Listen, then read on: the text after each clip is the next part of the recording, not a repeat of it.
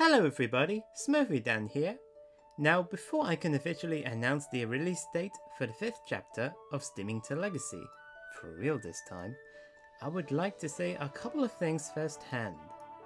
I would like to give a huge thank you to all the wonderful people at Manic Expression for making me feel right at home when it comes to expressing myself with the documentary. It was great to be associated with you so far since the third chapter, and for having nominated me in second or third place on the Outstanding Content of the Week list, as well as for honoring me in your Expressionist of the Month back in February.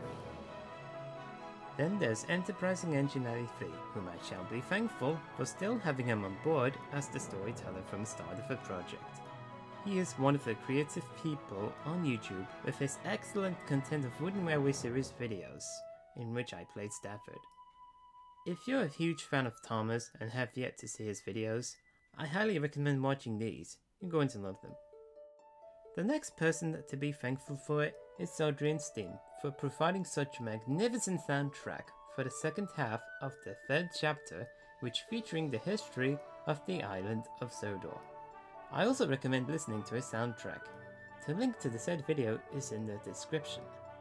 And last but not least, to all of you for your continued support to the project from the start since the release of the teaser trailer back in November 2015.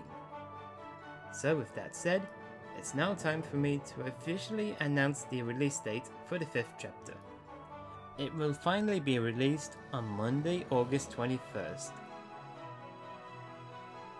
Thank you for watching this special short update on what's going on with to Legacy, and I'll keep you updated for next time. This is Smurfy Dan signing out. Peace.